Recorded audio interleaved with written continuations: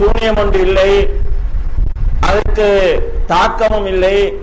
அப்படி சூனியத்துக்கு தாக்கம் இருக்கிறது என்று யாராவது சொன்னால் அவர்கள் முஸ்லிக்குகள் அவர்களுக்கு பின்னால் தொழக்கூடாது என்கிற ஒரு புதிய பத்துவாவையும் இன்னொரு வகையில் சொல்வதாக இருந்தால் ஒரு புதிய பித்தினாவையும் இந்த தௌஹீத் வட்டாரத்துக்குள் உருவாக்கி இருக்கிறார்கள் இதனால் ஒவ்வொரு பகுதியிலும் சின்ன சின்ன மஸ்ஜிதுகள் உருவாகி கொண்டு வருகிறது.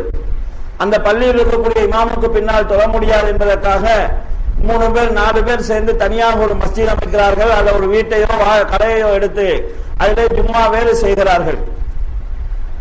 இந்த விஷயத்திலே அவர்கள் முஸ்லிம்களுக்கு பின்னால் தொழக்கூடாது என்று சொல்கிறவர்கள் மற்ற விஷயங்களிலே இதில் தங்களுக்கு தாங்களே முரண்பட்டு கொள்கிறார்கள் பாப்பா முஸ்லிக்காக இருந்தால் மகன் அவருடைய சொத்திலே பங்கு இருக்கக்கூடாது மகன் முஸ்லீம் முஸ்லீக்காக இருந்தால் வாப்பா சொத்துல பங்கு கொடுக்க கூடாது சொத்துல விட்டு கொடுப்பாங்களான்னு பார்த்தா அப்பதான் அவங்க கொள்கையில உறுதியா இருக்கிறாங்கன்னு பார்க்கலாம். வாப்பா சூனியம் இருக்குதுன்னு நம்புறாரு.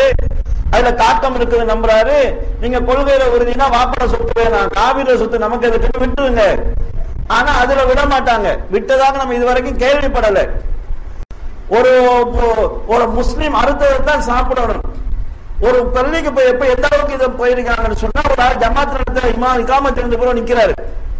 இமாம் ஒரு இளைஞன் வந்து அசரத்து நீங்க சூனியம் இருக்குன்னு சொல்றீங்களா இல்லையான்னு சொல்றீங்களா? தொழுது போல பாப்போன்றாரு. தொழுறதா இல்லையான்னு பார்க்க தான் நான் கேட்டு இருக்கிறேன்.